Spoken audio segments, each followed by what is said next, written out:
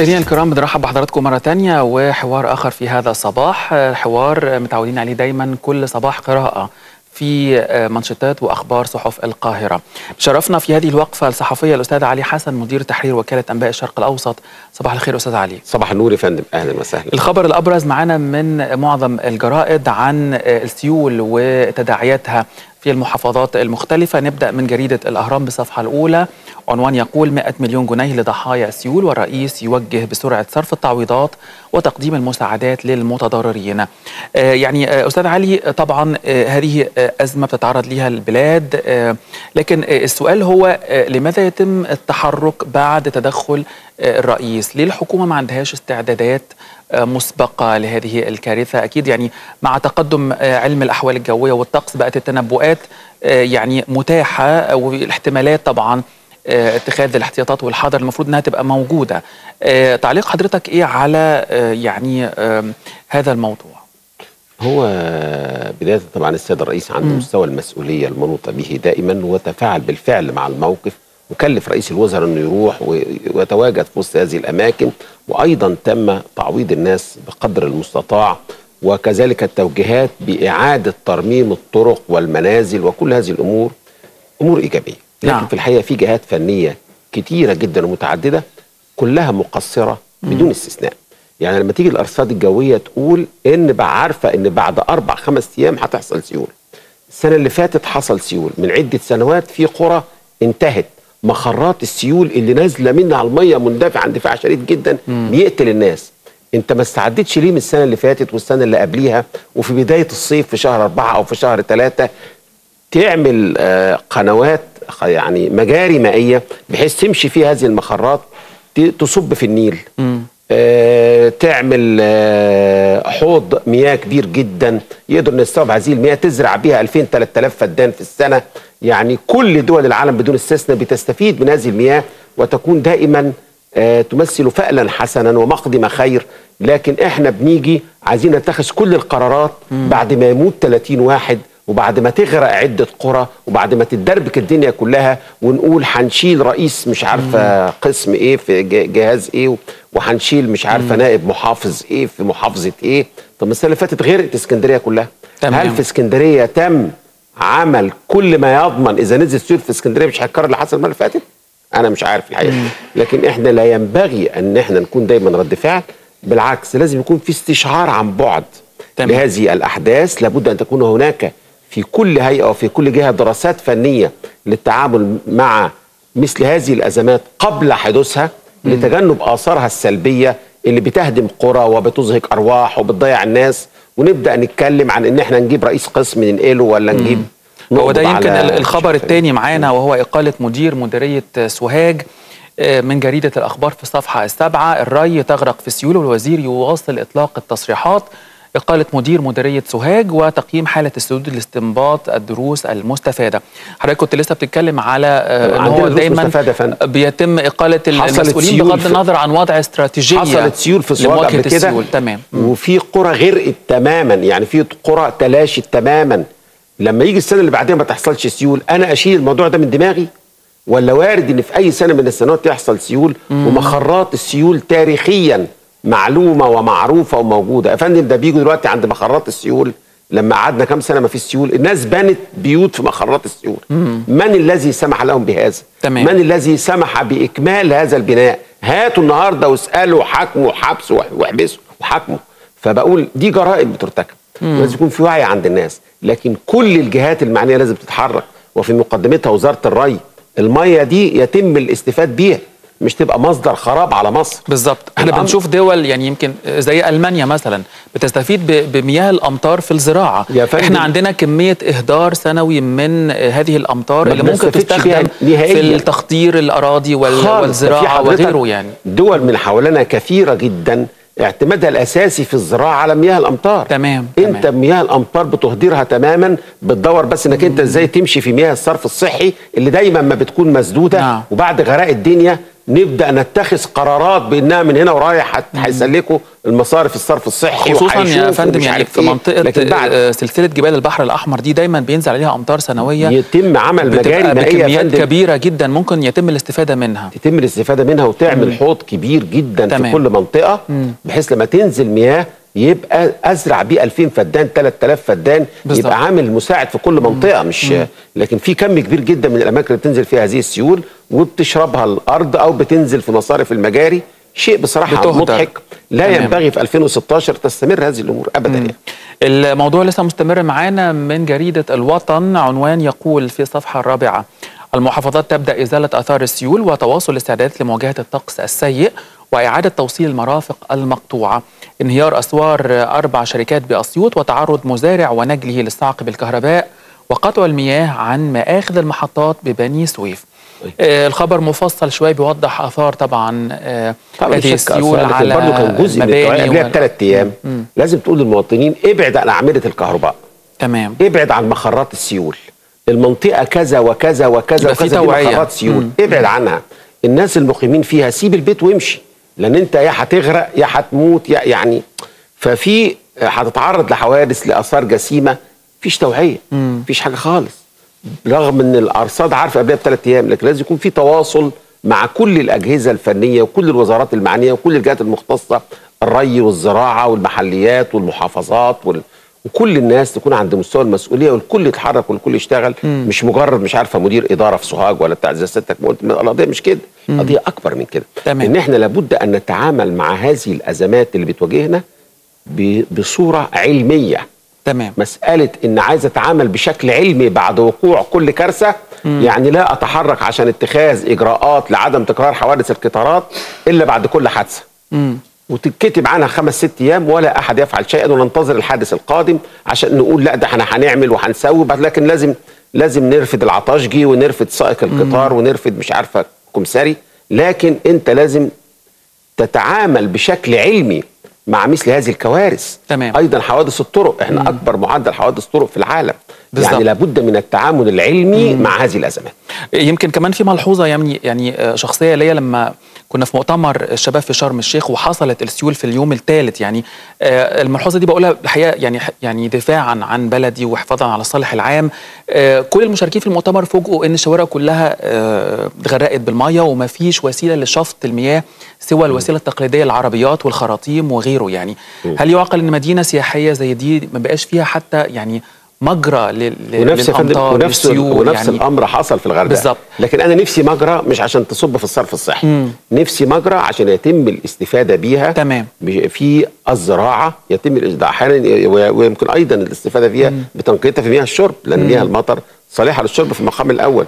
فبقول لحضرتك إحنا لازم نشتغل بشكل علمي نعم. نشتغل بشكل جدي مش مسألة إن إحنا نقعد نعمل شوية تصريحات صحفية للصحفيين إن إحنا هنعمل وهنعمل وهنعمل وننسى هذا الأمر وتيجي تمام. سيول بعد السنة الجاية أو بتعطل سنتين تيجي يبقى كل شيء جاهز ومستعدين للتعامل مع أي نعم. أزمة قبل حدوثها لتجنب آثارها السلبية نعم. على أرواح وحياة المواطنين تمام. وحياتهم الاجتماعية ننتقل لموضوع آخر من جريدة الأخبار في الصفحة الأولى مصر تراجع موقفها من سكرتارية التعاون الإسلامي وأمينها وزير الخارجية يقول تجاوزات مدني تؤثر على استمرار توليه آه، منصبه وطبعا تصريحات اياد مدني آه، يعني الحقيقة آه، أثارت حالة من الانتقاد وال- وال- والجدل على مواقع التواصل الاجتماعي و بين المصريين بشكل عام لأنه في الحقيقة جهات معادية لمصر استغلتها كمان بشكل مؤسف للغاية بيبين قد إيه عندهم الحقد والعداوة لبلدنا. يعني إحدى القنوات ال ال الإخبارية العربية للأسف خدت هذه التصريحات نقطة تبني من خلالها تغطية في نشرة إخبارية بتقرير موجه وضيف أيضا موجه بعد التقرير بشكل الحقيقة يعني آه محرض جدا على بلدنا. تعليق حضرتك إيه على هذه التصريحات؟ و آه يعني تقييمك ليها وتداعياتها حتى الآن هذا المدني شخص غير مسؤول مم. أنا بقول لهذا المدني اللي بتربطه علاقة وثيقة بتنظيم الإخوان وأقول هذا الأمر على مسؤوليتي وأعلم ذلك تماما نعم. تولى هذا المنصب في ظل رئاسة محمد مرسي العياط لمصر وكان هناك دعم إخواني له هذا الشخص غير مسؤول على الإطلاق حتى أن مفتي المملكة العربية السعودية منذ عدة سنوات شن عليه هجوما شديدا وطالبه بالاستتابة بسبب تصريحات غير مسؤولة تؤكد أنه شخص غير مسؤول وغير جدير بأي منصب. إحنا فيها حريصين جدا على العلاقات المصرية السعودية. الشيء المهم اللي عايز أوضحه هنا اولا مصر كلها على قلب رجل واحد لا تقبل المساس برئيس مصر. نعم أو حتى بأي شخصية عامة مصرية محترمة مرموقة مرفوض شكلا وموضوعا. آه عايز أقول إن الانتقاد الذي وجه إلى مدني وجه في المقام الأول من أهالينا في المملكة العربية السعودية مم. المواطنين السعوديين الشعب السعودي استاء منه جدا حتى إن نفس آه المواطنين السعوديين أدلوا بتصريحات في وسائل الاعلام المصريه والعربيه قالوا ده شخص غير مؤهل لأي منصب مم. وبالتالي أنا بأناشد منظمة المؤتمر الإسلامي بإعادة النظر في هذا المدني والبحث عن أي وظيفة مدنية له لكن لا يصلح أصلا مم. أن يكون امينا لمنظمة المؤتمر الإسلامي بعد هذه الممارسات غير المسؤولة. عايز يهزر ويسخر من رؤساء دول عظام في المنطقة؟ لا يجب أن يجلس على هذا المنصب يروح يقعد في بيت والدته ويهزر معها بهذا الأسلوب. لكن فيما يتعلق بتولي المناصب الهامة لابد أن يكون أهلا للمسؤولية أو يحمل حقائبه ورحل أنا رأيي الشخصي أنه فقد صلاحيته لبقائه لمنصبه لكن بقول مصر عظيمة جدا نعم. رئيس مصر له قدر كبير جدا مصر دولة محورية كبيرة ومؤثرة كانت وما زالت وستظل شاء من شاء وأبى من أبى نعم. وسيبقى الصغار صغارا وستبقى مصر ورئيسها وجيشها مم. وشعبها عظيمة ملء البصر واللي مش غيور على آه، آه، رئيس بلده لا ما عندناش حد مش غيور على رئيس عندوش بلده. ما عندوش. انتماء ما يا لهذا فندم ما. عندناش في مصر تمام. حد مش غيور على رئيس بلده ال- الأزمة دي باين أو هذا التصرف اللا نعم. مسؤول بين شعب مصر قد إيه بيقدر رئيسه وبيقول رئيسه السيد رئيس في حوار مع أبنائه الشباب عيد فرح في مصر شباب مصر كله ممثليه كلهم موجودين مع السيد الرئيس وبيتكلم بيتبحبح معاهم في أي كلمة مش عايز اجتزئ كلمة أو جملة وعايز أطلع أعملها مادة. تمام، تمام، يعني طبعا تمام. لكن زي ما بقول لحضرتك هو مرتبط بالتنظيم الدولي للإخوان اللي عايز يحرق مصر ومش عارف لأن إحنا على قلب رجل واحد الجيش والشعب والشرطة والقضاء وكلنا في مصر محافظين على بلدنا وعلى مؤسسات بلدنا. تمام. 11 11 لن تتم ومصر سالمة آمنة مطمئنة بشعبها العظيم لن نسمح بحرق مصر في 11 11 ولن تتحول مصر إلى فوضى أبدا مصر في رباط إلى يوم القيامة. نروح لموضوع تاني من جريدة الجمهورية في الصفحة السابعة الخارجية تطلق حملة الترويج لمؤتمر الشباب بشرم الشيخ. بالتأكيد المؤتمر يعني قيمته مش بس فيه لكن فيما بعد يعني انتهاء المؤتمر آه، لأنه بيعتبر يعني بداية لاستراتيجية جديدة في التعامل مع الشباب بعد الاستماع لوجهة نظرهم البناء على ما تم آه، عرضه من حلول لمشاكل البلد في هذا المؤتمر. تعليق حضرتك إيه على آه، ما بعد المؤتمر؟ المفترض إن آه، يعني يكون التحرك إزاي؟ هو لما بعد المؤتمر أهم حاجة إن الرئيس عبد الفتاح السيسي وضع جداول زمنية للتنفيذ والتطبيق. دي حقيقة يعني. هو الراجل زي ما انت عارف بيشتغل من 7 الصبح يعني راجل اتعود على سرعة الإنجاز ودي مدرسة العسكرية المصرية العظيمة الدقة والانضباط والسرعة في الإنجاز والإنجاز الناجح. فقال لك مسألة ال ال ال اللي هو الإفراج عن الشباب والكلام ده كله اللي بتدرس مواقفهم الآن في موعد أقصى 15 يوم هتكون خلصت يعني من. يستحق الإفراج. هيفرج عنه. مسألة اللجان اللي هتشتغل آه، اللي انبثقت عن المؤتمر عشان تنفذ توصيات المؤتمر سيتم تشكيلها النهارده. يعني عايز أقول لحضرتك المسألة مش مجرد توصيات بتطلع وخلاص إن في متابعة لهذه التوصيات كل شهر إن في الإعداد للمؤتمر يبقى مؤتمر دوري سنوي عيد من الأعياد القوميه المصرية انعقاد مثل هذا المؤتمر اللي فرح مصر كلها. وشفنا شبابنا يجلس متحدثا والسيد رئيس الجمهورية بنفسه بيسمعهم بيسمعهم. بيتفاعل معهم على مدى ثلاث أيام. ما راحش جلسه الافتتاح ومشي.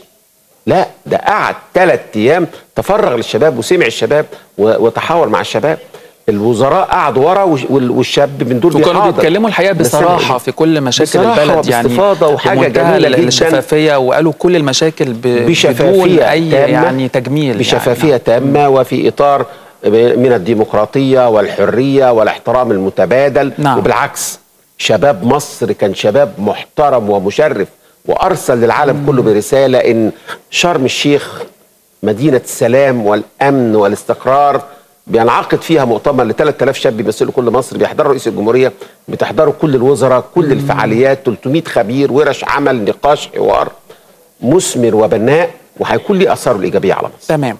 من جريدة الأهرام صفحة الثامنة 220 ألف صنف مخزنة منذ عام 2015 الصحة والداخلية تنجحان في كشف سر نقص الأدوية آه، يعني آه، طبعا الخبر الحقيقة مؤسف للغاية. بيبين قد إيه في مافيا احتكار الأدوية في ناس عايزة تدمر الحقيقة يعني آه، السلع الأساسية للمواطنين تحتكرها وأيضا. تحدث هذه المشاكل إحنا مم. اللي بيطور القانون المجرم نفسه اللي بي- بيدفع السلطة التشريعية نحو تعديل ال- التشريعات أو تغليظ العقوبات المجرم نفسه. نعم. ظاهرة احتجاز السلع واحتكار السلع على هذا النحو قد إيه أضرت بينا؟ شفنا اللي عايز يحط مثلا 100 طن سكر مم. يحجزهم لأنه عارف إن السكر هيغلى شوية فيركنه فيحجبه فيعمل لي أزمة سكر في البلد. أصلا ما فيش أزمة سكر لكنها أزمة مفتعلة من عدد محدود من التجار. نمرة واحد مصادرة هذه البضاعة ولا تعود إليه مرة أخرى. نمرة اثنين تغليظ العقوبة إن شاء الله توصل 10 سنين. لكن أنا عندي أيضا آه، حضرتك الأدوية. دي كارثة. الناس الفقراء نازلين عايز يشتري أدوية. هو شايف إن سعر الدولار عالي يقول لك يبقى بالتالي الأدوية هتغلى كده كمان شهر ولا شهرين ولا ثلاثة ولا ست أشهر ولا بتاع. هو الافندي ده حاجز أدوية من 2015 على أساس إنها تغلى فيعدل السعر ويطبع وي- ويمشيه. على هذا النحو. طبعا حلها عندي. هي جاية من الشركة مطبوع عليها كام؟ مبلغ كذا، العلبة دي تتباع بذات السعر ما يزودش عليها السعر بتاعها اطلاقا لكن ده بيجيب sticker كان مكتوب عليها 30 يروح لازق ال sticker 40 ويحط ال 25 في جيبه ال 25% من جيب الإضافية اللي زودها من جيبه ده مش ملك ليك ده مش من حق ده مش من حقك. طبعا. أنت ربحك اتحقق وده من حق المواطن ان يشتريها بهذا السعر. تمام. آه الذي ما زالت عليه. لكن أنا بقول تغليظ العقوبة مصادرة هذه السلع وهذه المنتجات سواء كانت أدوية أو سلع غذائية أو. سكر دقيق زيت أي سلعة حد بيحتكر السلعة ويخزنها على هذا النحو عشان تزيد تصادر ويلقى جزاء رادعا في سياق الموضوع نفسه جريدة الأخبار في الصفحة الثالثة أرصدة السلع آمنة والقمح يكفي ستة أشهر واللحوم تسعة أشهر والزيوت خمسة شهور. وزير التموين يقول توزيع مقررات نوفمبر بعد غد ووصول 210 ألاف طن سكر وأرز خلال أسبوع. آه، يعني الحقيقة آه، آه، تصريحات وزير التموين مطمئنة طبعا مطمئنة للناس. طبعا. لكن طبعا الناس اللي برضو ما زالت جاهزة ان هي تعمل لنا أزمات لابد من التعامل معها بشدة وبقوة. يعني أنا شفت تاجر كبير جدا سكر مش عارف واخد ست أشهر. يعني بدون شك القانون بيقول كده وأنا بحترم القضاء وكل حاجة لأن دي ممكن تكون نفس هذه المادة في القانون معمول بيها مثلا من 10 سنين أو 12 سنه أو أو حصل فيها تعديل من 20 سنة لكن المستجدات هي اللي بتحتم إن أنا أغلظ هذه العقوبات عشان أنا عقده وعقد غيره ان يقوم بهذه الجريمة في حق الشعب. يعني بيعمل لي أزمة كبيرة جدا. السكر بقت حديث الناس في الشارع. السكر ما عندناش أزمة سكر. لكن عندنا احتكار لما يروح 20 30 واحد يخبوا ثلاث أرباع الكمية اللي في السوق هتحصل أزمة. ده مجرم. لازم يعاقب ويلقى جزاته بس يكون جزاء رادع. وأنا أصادر هذه البضاعة اللي هو محتكرها وادفعه ثلاث اثمان ثلاث أضعاف ثمنها غرامات وأحبسه 10 سنين أسجنه 10 سنين. نعم.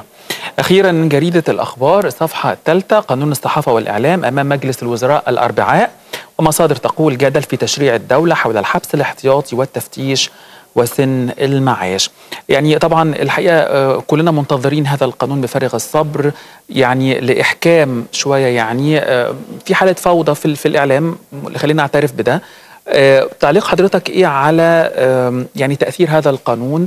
آه، المفروض صورة الإعلام بعد وأداء ال- الإعلاميين وغيره هيبقى منضبط بشكل قد إيه بعد هذا القانون اولا هيكون منضبط بنسبة كبيرة جدا آه لكن أنا بقول إن تم تعمد عدم إصدار هذه القوانين على مدى 33 شهر يا فندم.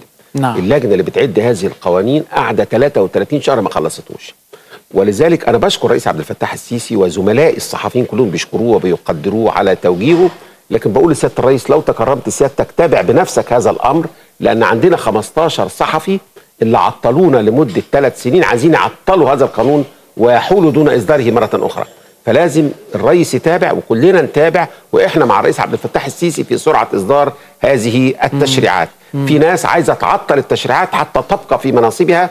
وحتى تبقى حالة من الفوضى في الإعلام نحن نرفضها ونأباها ولا نقبلها. نريد لإعلامنا أن يكون إعلام بناء لمصر أن يشارك في مسيرة البناء ومسيرة التنمية أن ينتقد الأخطاء بصورة موضوعية بهدف تصحيحها وبهدف البناء لكننا لا نريد ابدا أن يكون الإعلام مثيرا للفتن لا نريد أن يكون لدينا اعلاما تحريضيا لا نريد أن يكون لدينا إعلاما ينشر اخبارا كاذبة ومغلوطة بهدف بلبلة الرأي العام فإحنا نريد لإعلامنا أن يساهم مساهمة إيجابية وفاعلة في مسيرة البناء نعم. عشان نحجم العناصر اللي بتسيء للصحافة تمام.